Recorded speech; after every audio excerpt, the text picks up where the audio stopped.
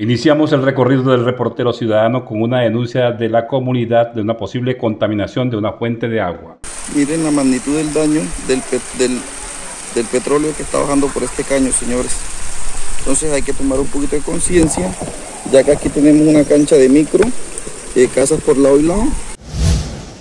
Desde el asentamiento humano a la mano de Dios, un reportero ciudadano denuncia posibles daños ambientales al parecer causados por dos empresas ubicadas en la vía que conduce a la empresa Aguas de Barranca Bermeja. El daño que nos está causando eh, la empresa que está al frente de Aguas de Barranca Bermeja, si ustedes observan está lloviendo en estos momentos y miren cómo baja el petróleo por el caño que conduce el agua a donde se está haciendo la petar San Silvestre. Otro reportero ciudadano hace el llamado a las autoridades de tránsito para que este tipo de estación en taxis no se haga en el distrito. Desde el corregimiento El Llanito, un reportero ciudadano asegura que una joven cayó al agua por esta falla en la estructura del puente turístico.